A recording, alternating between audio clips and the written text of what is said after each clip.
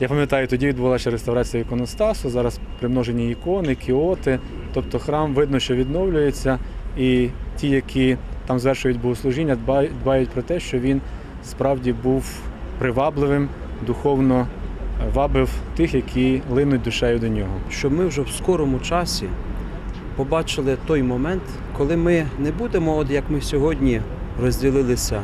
Одна громада, в верхньому соборі молилася, інша громада іншої конфесії в нижньому соборі.